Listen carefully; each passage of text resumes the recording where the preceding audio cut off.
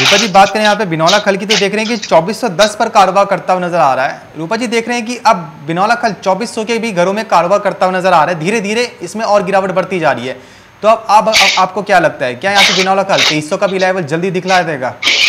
देखिए बिल्कुल बिनोला खल में अब तेज़ी गायब हो चुकी है और लगातार प्राइसेस में दबाव है और अब ये दबाव बढ़ता हुआ दिखाई दे सकता है। आ, मुझे लगता है कि यहाँ पे अगले महीने का जो वायदा है उसके अंदर जो सितंबर वायदा फ़िलहाल यहाँ पे दिखाई दे एक्सपायरी है उसमें दिसंबर का वायदा है जो कि पच्चीस पर कारोबार कर रहा है वो नीचे में चौबीसों तक लुढ़क सकता है। जी।